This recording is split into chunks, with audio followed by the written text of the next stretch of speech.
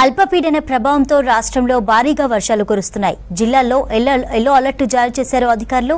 పెద్దపల్లి జిల్లా కేంద్రంలో భారీ వర్షం కురిసింది ఈదురుగాళ్ళతో పడిన వర్షానికి రోడ్లన్నీ జలమయమయ్యాయి. వాహనదారులు తీవ్ర ఇబ్బందులు పడ్డారు. ఉరుములు మెరుపులతో కూడిన వర్షానికి ప్రజలు అప్రమత్తంగా ఉండాలని హెచ్చరించారు అధికారులు. మరో మూడు రోజుల పాటు వర్షాలుంటాయని ప్రకటించారు.